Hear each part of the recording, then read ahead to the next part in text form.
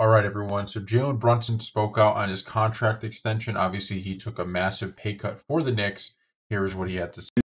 All right. So when Jalen Brunson says, I took as much money I could get at this time, he's obviously not telling the truth. He could have gotten the max deal, right? What he means by that is that he took the most money he could possibly take while allowing the Knicks to still kind of put together a contender. And I thought Jalen Brunson made a fantastic point because this is one that you almost never hear about.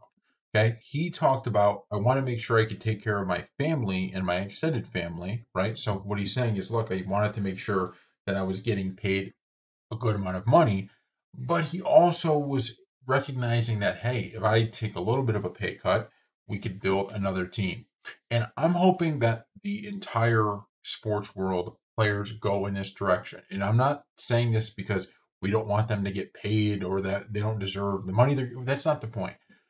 The point is that we have prime examples of today, right?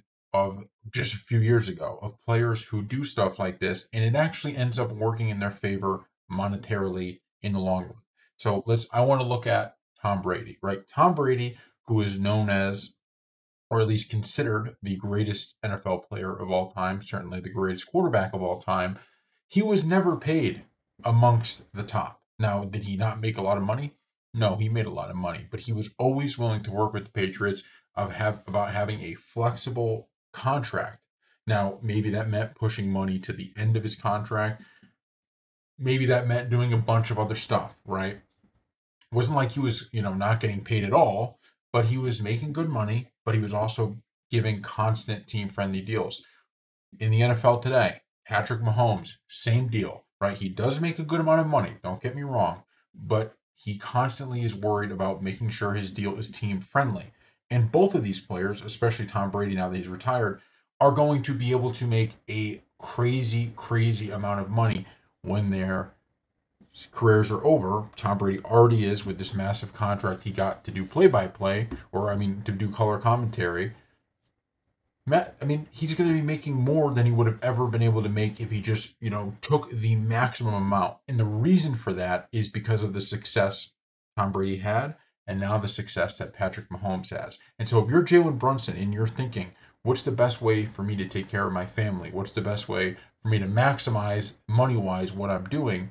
Well, winning goes a long way. And the more money you yourself take, the less or the harder it gets for the team to put a championship contender around you. And so by Jalen Brunson doing this, he's making a basically a choice now to say, you know, look, I'm going to make sure I'm my family and me are taken care of, right? I don't want to basically bet the house on us succeeding here and then I don't have any money because I decided not to take anything. But I'm also not going to take every penny I can because what I'm going to do is I'm going to bet that we could build something here and that we could win. And I'm going to tell you this Jalen Brunson is going to go down as a legend for the Knicks. He's going to go down as a legend regardless of, regardless even if they win one ring. They don't even have to win one. He's going to go down as a legend. And the reason for that is because of actions like this. And so from this point forward, as long as he remains on the Knicks, Knicks fans are going to feel indebted to him. They're going to love him because they understand this guy was doing all he could to make sure that we get a championship here. And I think if some athletes decided to do that, if some athletes decided, you know what, I'm going to just do take a little bit of that discount to help out the team so that we're a better team, I think they understand that in the long run, you actually get it back. And sometimes you get it back tenfold, right? I mean, look at someone like Michael Jordan, even. Now, Michael Jordan was getting paid good money for the time, but Michael Jordan wasn't. I mean, you have players like Jayson Tatum and others that are just making amounts of money that the guys like Larry Bird and Michael Jordan would have never in a million years expected to have been making just in your NBA contract. We're not talking endorsements and everything like that. Just on that NBA contract, Jordan is was able to own an NBA team. Why? Because he won so much, right? Because if you can create that kind of legend, if you can create, it doesn't have to be on Jordan's level. You don't have to be a goat.